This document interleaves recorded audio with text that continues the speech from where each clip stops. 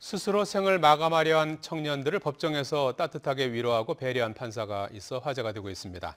재판 과정에서 생을 포기하지 말라고 호소한 판사는 집행유예로 풀려난 청년에게 차비까지 챙겨줬습니다. JCN 뉴스 구현희 기자입니다. 신변을 비관해 인터넷에서 만나 동반 자살을 시도한 청년들.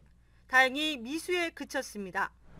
울산지방법원 1심 재판부는 자살방조 미수 혐의로 기소된 30대 남성 2명에게 징역 10개월의 집행유예 2년과 징역 8개월의 집행유예 2년을 각각 선고했습니다. 재판장인 박주영 울산지법 부장판사는 재판 말미에 이들을 향해 당부의 말을 전했습니다. 박 부장판사는 스스로 생을 마감하는 것을 막을 수만 있다면 강제로라도 장기간 구금해야 하는 건 아닌지 깊이 고민했다며 스스로 생을 포기하려고 한 깊은 고뇌와 참담한 심정을 다 이해할 순 없지만 지금보다 더 좋은 날이 반드시 올 것이니 살아달라고 호소했습니다. 또 우주가 도서관이라면 우리 모두는 한 권의 책으로 한 번 시작된 이야기가 허망하게 도중에 끝나서는 안 된다며 앞으로 이들이 써내려갈 다음 이야기를 우리 모두가 궁금해한다는 걸 잊지 말아달라고 말했습니다.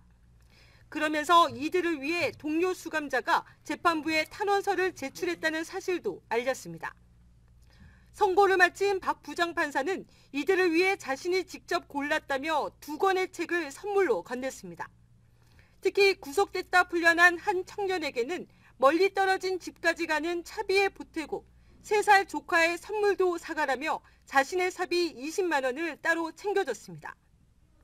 스스로 생을 마감하려 했던 이들은 재판부의 따뜻한 위로와 배려에 눈물을 흘렸습니다.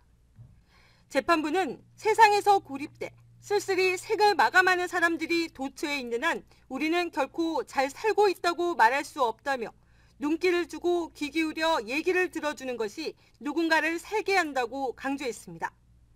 박 부장판사는 판사 생활을 하면서 피고인에게 돈을 건넨 것은 처음이라며 어떻게든 이들에게 삶의 의욕을 불어넣어 살게 하고 싶었다고 말했습니다.